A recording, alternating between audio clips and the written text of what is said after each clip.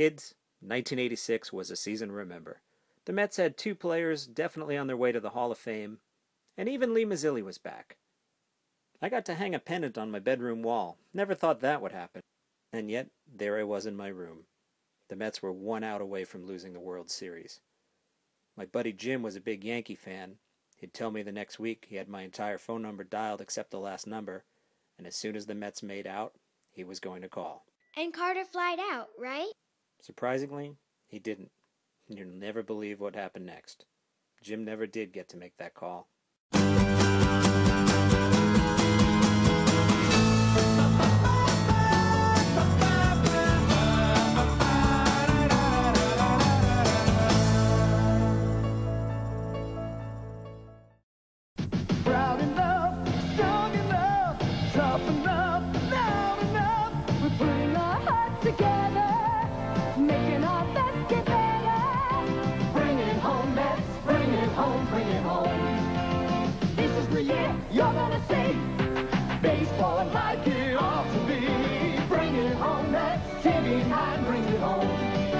Mets and the Dodgers Tuesday night at 7:30.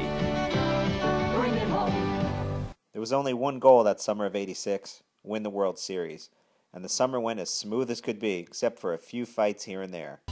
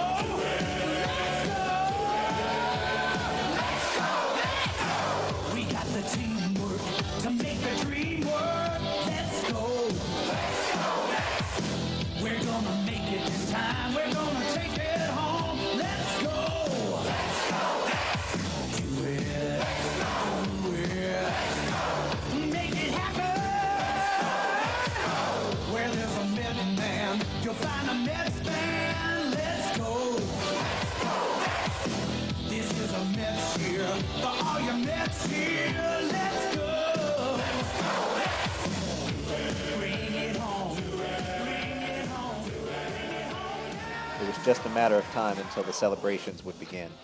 Live from Shea Stadium in New York, WOR-TV presents New York Mets baseball. As tonight, the Mets take on the Chicago Cubs. Pitching for the Cubs tonight, right-hander Dennis Eckersley, who's 6 and 9 with an ERA of 4.63.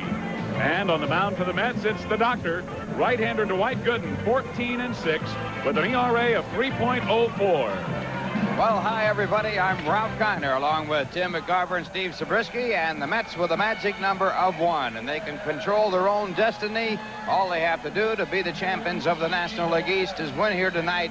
It makes no difference what the Phillies do if they do win.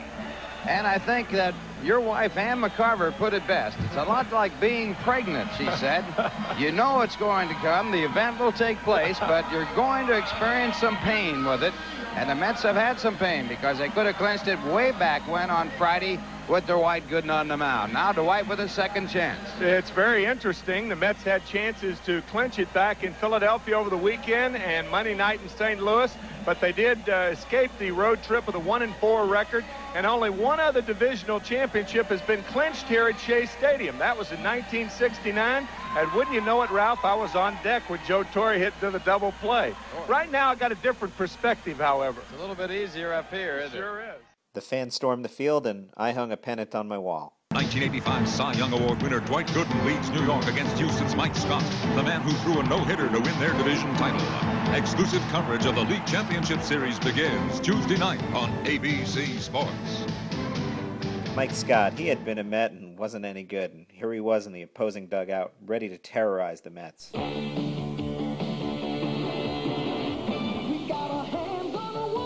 kind. We got the juice. We got juice your most.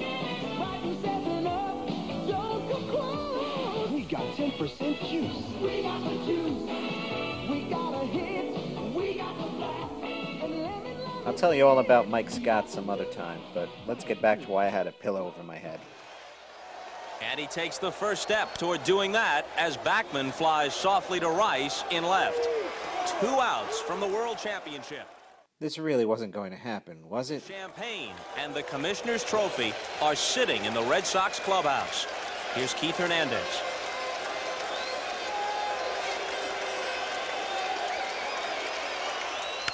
And that's hit to dead center with Henderson going to run it down.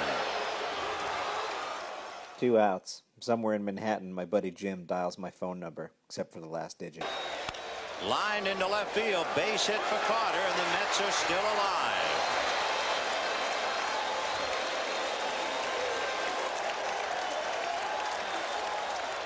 Curveball, and that's going to be hit to center. Base hit. And now suddenly with two out in the 10th inning, the tying runs are aboard, and Ray Knight will be the batter. And that's going to be hit into center field. Base hit. Here comes Carter to score, and the tying run is at third in Kevin Mitchell. 90 feet away in Kevin Mitchell, and the possible winning run at first in Ray Knight. And here's Mookie. And it's going to go to the backstop. Here comes Mitchell to score the tying run, and Ray Knight is at second base.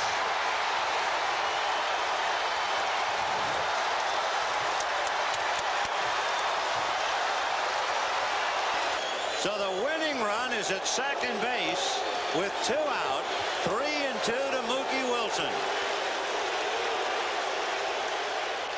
Little roller up along first, behind the bag. It gets through Buckner.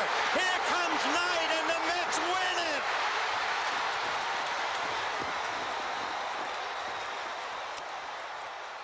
In Game 7, the Mets got it done, and we were on our way to the ticker tape parade. It was a monster parade, even by New York standards. Police say more than 2 million people jammed into lower Manhattan to cheer the Mets.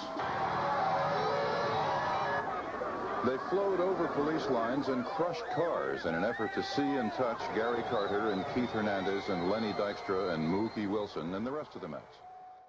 The Mets made of the city of New York a small town with love and affection where everybody in this city knows one another.